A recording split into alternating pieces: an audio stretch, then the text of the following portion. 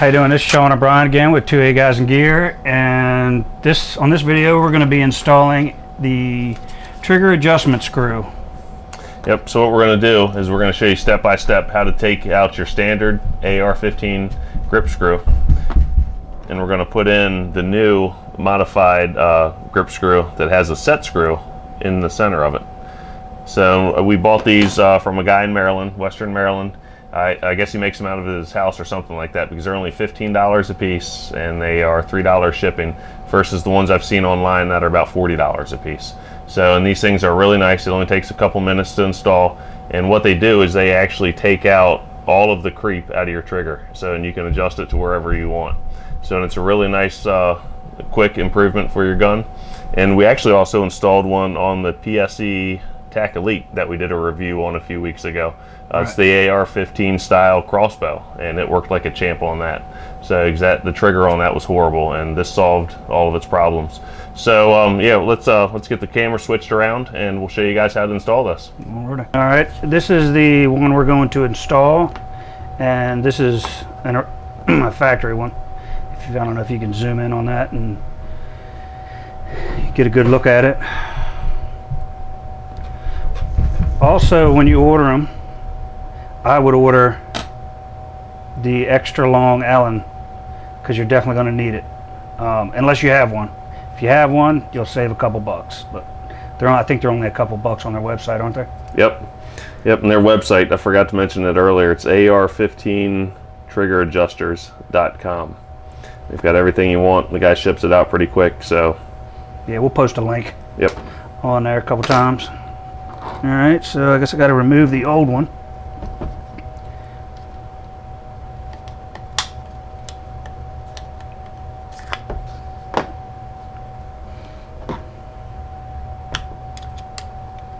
This is pretty standard. We're just uh, removing this, the, the screw, pop the grip off.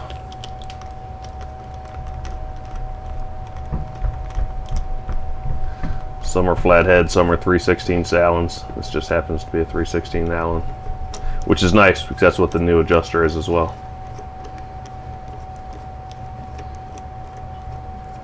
Grip doesn't have to come off, does it? Mm-hmm. Yep.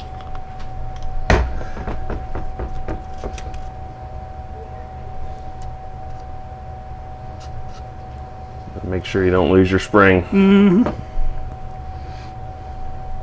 All right, we got the grip off, didn't lose the spring. Put some Loctite. We're just using the uh, the light duty Loctite. So no sense in using anything crazy with it, just enough that it doesn't budge with the recoil. And what we're going to do is draw that screw all the way back down into the main screw.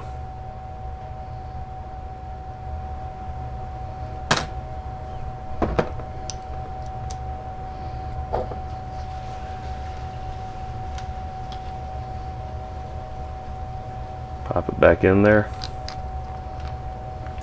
And then put your grip back on just as as normal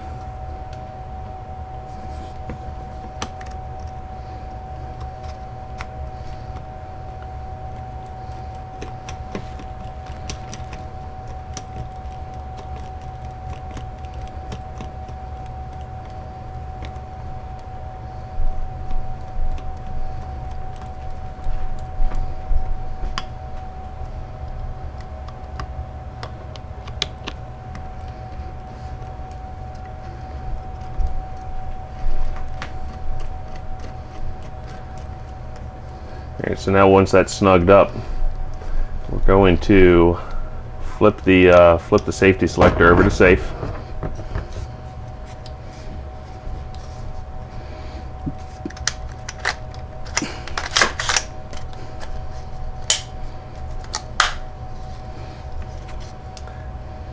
Now what we're going to do is we're going to take the long Allen wrench and we are going to adjust the small set screw. And we're going to adjust it all the way down until it stops. So depending on your gun or your crossbow, whatever the case may be, it may... All right, it stopped. It stopped, okay. Yeah, when we did the PSE TAC 90, it was real long-winded because there's so much creep in it. But since this one doesn't have much creep, it's not bad. So now, when you when you put that thing all that set screw all the way down and it's in the safety position, your safety selector should not move. It's actually going to be stuck. Is that the case? Yeah, it's okay. It's stuck now. Now that we're stuck, what we're going to do is we're going to back that Allen wrench off just a hair. Just bump it back, and now try your safety selector. Yep, it's nice and smooth.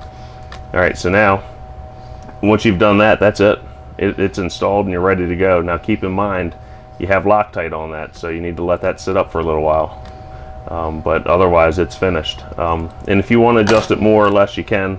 But if you're going to do it, now's the time to do it before your Loctite sets up. Let me try it. There's Better? big difference yeah. Yeah, it's crazy how much of a difference it makes.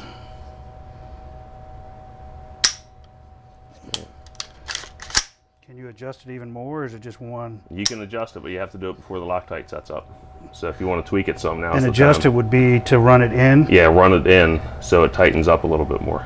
But if you run it in too far, it's going to prevent the safety from engaging.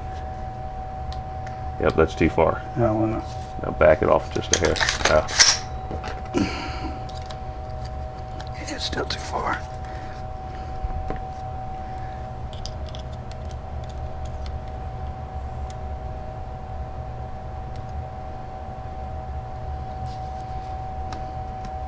Still too far.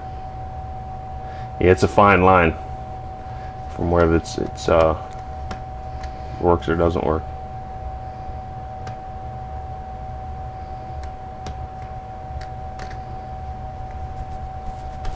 For five minutes and eighteen dollars, it's a big difference.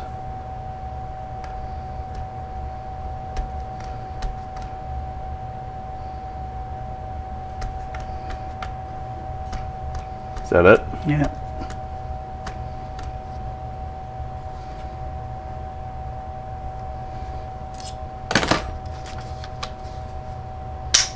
Yeah, it's a lot tighter.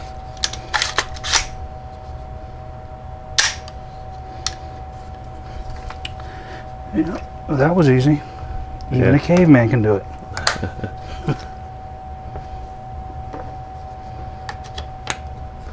Yep, just like that, you're finished. Now that doesn't change the pull, just takes out all the creep. Correct. Yeah, the length of pull stay the same. It's just taking out the creep. So the trigger on this one was actually pretty good, but it did have some creep, which is now gone. Yeah, I think for 18 bucks, Yeah, you can't beat that. no, I, I think you just get one for every AR you own. Yeah, that's a big difference.